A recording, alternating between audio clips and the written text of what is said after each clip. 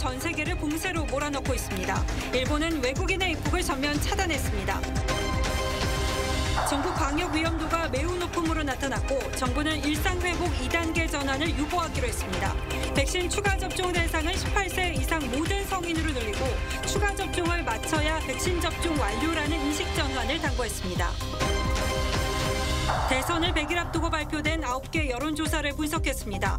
9개 가운데 6개가 초박빙 접전으로 집계됐고 2030 세대 표심은 안개 속이었습니다. 대장동 의혹을 수사 중인 검찰이 50억 클럽 의혹 당사자 가운데 한 명인 곽상도 전 의원의 구속영장을 청구했습니다. 전 여자친구를 스토킹하고 살해한 김병찬이 검찰로 송치됐습니다. 경찰은 김병찬이 피해 여성이 신고하자 보복으로 범행한 것으로 결론냈습니다.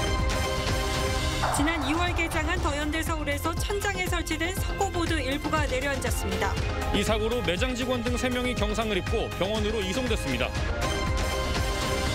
이재명 후보가 윤석열 후보의 코로나 피해 자영업자 50조 원 지원 제안을 수용하고 당장 방법을 찾자고 역제안했습니다.